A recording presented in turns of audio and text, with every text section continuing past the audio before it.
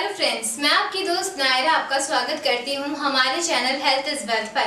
दोस्तों, आपने अक्सर देखा होगा कि चेहरे को सुंदर बनाने के लिए मैं बहुत सारी चीज़ें आपको बताती हूँ और कोशिश करती हूँ कि आपके पास ज़्यादा घरेलू चीज़ों को ही लेकर आऊँ। क्योंकि घरेलू चीज़ों, फल और सब्जियों के अंदर केमिकल की मात्रा कम होने के कारण वो हमारे चेहरे को चमकदार तो बनाते ही हैं, लेकिन उसी के साथ साथ हमारे चेहरे पर कोई रिएक्शन भी नहीं करते हैं। ठीक उसी तरीके से अपनी पूरी बॉडी को अच्छे तरीके से एक्सफोलिएट करने के लिए आज मैं आपको बताने वाली हूँ नींबू के प्रयोग के बारे में।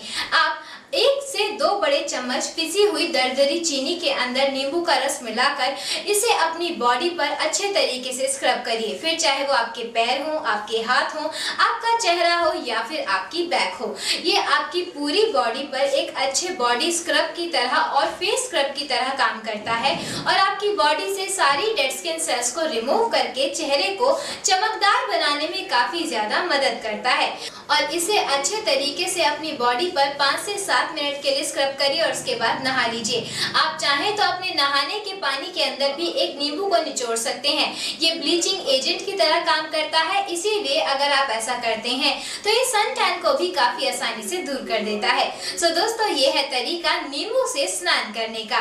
मेरी ब्यूटी और हेल्थ से रिलेटेड वीडियोस को देखने के लिए यूट्यूब पर लाइक शेयर और सब्सक्राइब कीजिए। तब तक के लिए मैं आपकी दोस्त नायरा आपसे इजाज़त लेती हूँ।